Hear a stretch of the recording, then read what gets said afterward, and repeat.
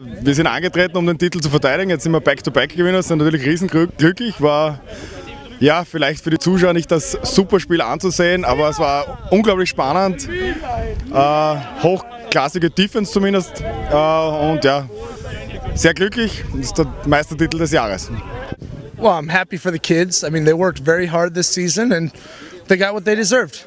I mean, we, we preached to them to practice hard every day and come out and compete. We talked about finishing everything we do and tonight we finished. Ja, es war, es war ein hartes Spiel, also ein sehr starker Gegner. Ähm, ich denke, es war lange Zeit offen. Lange Zeit offen. Wir hätten nur einen Schritt weiter hochschalten müssen. Dann hätten wir Chancen gehabt, quasi noch ins Spiel wieder reinzufinden. Am Anfang, ich sag mal, Pech oder Unvermögen bei, bei den Field Positions.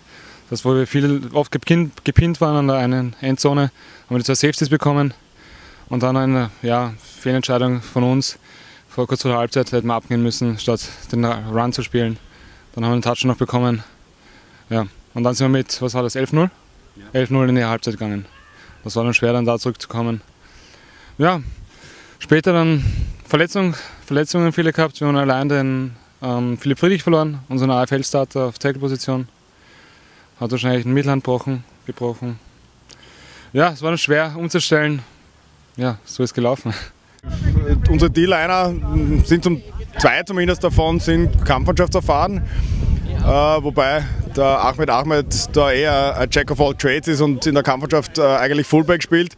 Äh, wir sind ein bisschen dünn bei den Linern, vor allem nachdem sich der Daniel Feichter, Starting Center von der Kampfmannschaft, verletzt hat und der Sebastian Schreiner, der Starting Defense Tackle von der Kampfmannschaft ist, äh, sich auch verletzt hat oder eigentlich die ganze Saison leicht verletzt war, jetzt am Schluss gefehlt hat. Äh, da haben dann andere Leute absteppen müssen. Wir haben einen No-Cycle drin, der seit, hm, ja, ich traue es mir eigentlich gar nicht sagen, eineinhalb Monate Football spielt jetzt beim Nationalteam Camp war, weil er ein unglaubliches Talent ist, den wir einfach zufällig gefunden haben beim letzten Tryout. Äh, wie gesagt, eigentlich darf man das gar nicht sagen, dass der da gestartet hat und durchgespielt hat und eigentlich einige Hölle-Plays gemacht hat, aber es gibt einige wenige Naturtalente, die man da so zufällig bekommt und da sind wir sehr glücklich. Ja, die Defense hat wirklich phänomenal gespielt, also wir haben viele Stops gehabt, eine Interception, wirklich toll. Offense, wir haben uns wirklich schwer dann mit der Defense, also sie haben wirklich eine sehr starke Defense gehabt, haben immer wieder Druck gemacht ähm, haben unseren Quarterback damit sehr unter Druck gesetzt. Ja, die Defense war toll. Also, wir hätten noch Offense mehr machen müssen ist nicht mehr gegangen heute. Haben viele Teams in den letzten Jahren aufgehört mit den Junioren zu spielen? Raiders, Vikings haben angefangen. Voriges Jahr haben dann beschlossen, die Rangers und auch die Knights aus der Division One wollen das nicht mehr. Die Dragons werden heute ihr letztes Spiel in der Juniorenmeisterschaft gespielt haben. Ist das auch ein Weg, der für die Giants denkbar ist, dass man sagt, man nimmt eigentlich die Junioren mehr äh, in, in der Kampfmannschaft oder in der Zweiermannschaft dran, als eine eigene Meisterschaft dann noch im Herbst zu spielen? Naja, es ist sicher, wir denken auch seit letztem Jahr drüber nach. Äh, auf der anderen Seite darf man nicht ganz vergessen, eben, dass auch wir eigentlich sehr viele solchen Jahre hatten und mit den Junioren eigentlich erst die letzten zwei Jahre so richtig stark geworden sind und uns äh, ja natürlich über diese Titel auch sehr freuen. Äh, es ist ja auf der anderen Seite mittlerweile so, dass der Groß oder ein, ein Großteil dieser Mannschaft bereits in der Kampfmannschaft ist. Aber das war immer Umbruchphase mit der wir ja erst umgehen haben müssen, dass die Mannschaft so jung geworden ist. Das ist in den letzten zwei Jahren passiert. In der Kampfmannschaft haben sehr viele arrivierte Spieler aufgehört. Sehr viele Junge sind nachgerückt und bis zu diesem Zeitpunkt war das eben nicht der Fall. Dass die Leistung auch jetzt bei den Junioren in den letzten Jahren bei uns so gestiegen ist, äh, ja, das sind alles Punkte, die man die man bedenken muss und, und wir machen uns natürlich auch Gedanken und sind am überlegen, wie wir das weiter angehen werden. Ich habe vor dem Spiel kurz äh, mit den Dragons geredet bin mir nicht sicher, ob das schon, oder ich hätte nicht gedacht, dass das schon so eine hundertprozentige Entscheidung ist, dass sie äh, aus der Juniorenmeisterschaft aussteigen. Also äh, Teile der, des Coaching-Staffs haben das noch nicht so 100% äh, als sicher empfunden gehabt. Und, und ja, wird natürlich äh, unsere Entscheidung auch beeinflussen. Ich meine, in Wirklichkeit muss man ja sagen, haben wir keine Gegner gehabt heuer, außer die Dragons. Es war jedes Spiel ein, ein Shootout. Und in, das Spiel war ja heute von den, von den Yards äh, her auch ein bisschen deutlicher, als das Score schlussendlich gezeigt hat. Äh, ja, ist ein, Weg, den man überdenken muss. Äh, habe auch vor dem Spiel von einem anderen Nachwuchsleiter ein anderes Modell vorgeschlagen bekommen, das man sich vielleicht auch überlegen muss oder überlegen kann. Und dann, dann wird man schauen, wo da bei uns der Juniorenweg hingeht. Blick in die Zukunft. Ähm, wie schaut es aus bei euch? Ihr spielt nächstes Jahr mit diesen Leuten in der Division 3 mit. Äh, wird es noch eine Juniorenmannschaft beim, beim Nachwuchs, in der Nachwuchsmeisterschaft geben? Nein, die wird es nächstes Jahr 100% nicht geben. Also wir haben uns entschieden, wirklich nur auf eine Sache zu konzentrieren und So. das war das Handy? Okay. Ähm, ja, nächstes Jahr werden wir nur Division 3 spielen und IFL spielen. Ähm, gedacht ist, dass quasi so ein, ein Mischkader wird von AFL-Spielern, die eher oben Backup sind, die auch unten in der Division 3 mitspielen werden. Das, heißt, das ist eher geplant. Und die Junioren langsam aufbauen, dass sie auch in der Division 3 spielen können, die Jüngeren.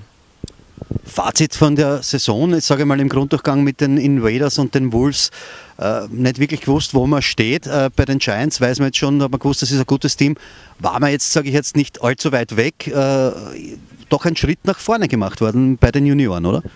Ja, ich glaube schon, dass wir einen Schritt nach vorne gemacht haben, weil generell ist die Mannschaft stärker geworden. Also athletisch sind wir uns einiges verbessert. Wir haben den früher auf Athletik gesetzt und da sind wir auf jeden Fall stärker rausgegangen als letztes Jahr aus der Vorbereitung. Ähm, es hat uns gefehlt, dass wir in der, in der, Saison stärkere Gegner gehabt haben. Das heißt, wir haben immer diese hohen Ergebnisse gespielt, haben nicht wirklich gewusst, wo stehen wir jetzt. Sind wir jetzt schon nahe dran an den Giants wieder oder ist es doch vielleicht wieder ein 35-0, was auch immer, was es letztes Jahr war.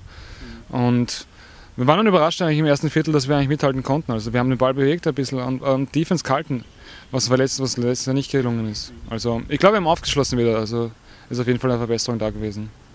Sind sich da auch in Coaching-Staff zwei ehemalige Nationalteamspieler gegenübergestanden, unter anderem mehrere Nationalteamspieler? Also du zum Beispiel, sage ich jetzt einmal, Herr Schreiner, bissig im Backfield und dann der Herr Veroster, bissig als Linebacker.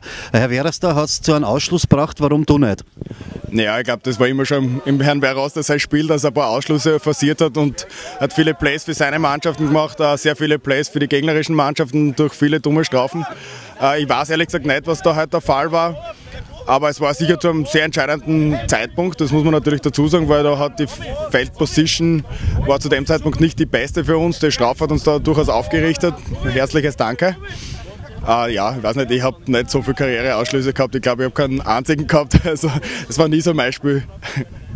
Okay, dann Gratulation nochmal zu, zu dem heutigen Titel, zum Back-to-Back-Meisterschaft und alles Gute für 2013. Der Coach Johansen geht es jetzt ab in die USA oder wird er durchgehend da bleiben? Nein, er wird jetzt seinen Weihnachtsurlaub antreten und dann äh, nach Weihnachten wieder kommen. Das heißt, das Modell Ganzjahrescoach ist auch in Graz Realität geworden? Fast, sagen wir mal so. Also er hat eineinhalb Monate jetzt, wo er nicht da ist, aber im Großen und Ganzen war das natürlich seit vielen Jahren auch ein Wunsch und Zielsetzung, dass wir das schaffen. Das ist uns jetzt das erste Jahr gelungen. Äh, auch wenn man hat natürlich alle Nachwuchsunits gecoacht, wenn man es auch vielleicht in der U14 oder bei den Schülern und bei der Jugend noch nicht in Ergebnissen sieht. Aber äh, die Units sind sehr, sehr viel weitergekommen. Auch die Coaches profitieren natürlich ungemein von ihm, ganz abgesehen davon, dass er natürlich auch das Kampfmannschaft äh, macht. Und ja, das ist absolut der einzig richtige Weg.